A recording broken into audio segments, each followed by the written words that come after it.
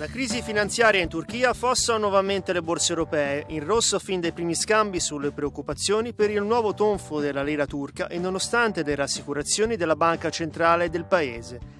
Al termine delle contrattazioni tutti gli indici europei sono in calo, con Milano in flessione dello 0,58% anche per effetto dello spread BTP Bund, salito oltre quota 280 punti. A soffrire sull'indice principale di Piazza Affari sono in particolare le banche, con Unicredit e Banco BPM in flessione di oltre 2 punti percentuali.